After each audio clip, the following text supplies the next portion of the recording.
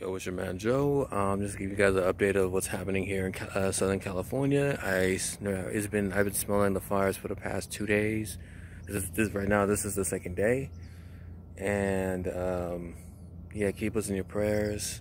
I hope everybody's uh, safe out here in Southern California. Do all through all. Can, you can literally smell the fire in the air right now. So, yeah, it's your man Joe.